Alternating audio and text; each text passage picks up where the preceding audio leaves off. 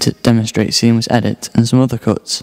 But the amusing thing is, because we have Kieran on camera, we can have him doing anything. We can even have Joe run around the corner. We can even have Joe run around him with the camera. The 180 degree rule is a rule that states the camera always has to be within 180 degree angle of the character. Here we are following Kieran from the right side. You can observe the 180 degree rule, whether that's from the back, the side, or the front of the person. This here is an example of following the action. Like a scene in 24. The action here being Kieran climbing these stairs, if you can call it action. Oh dear, continuity error there. Never mind, better luck next time.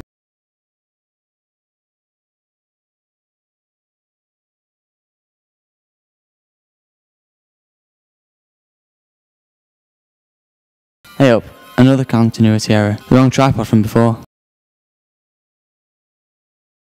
Yet again, the camera cuts to each of the different camera angles to keep up the pace.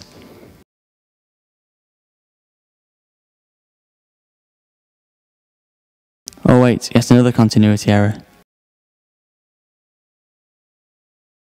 Well, that was seamless edit with added twist of showing how a simple idea can go wrong.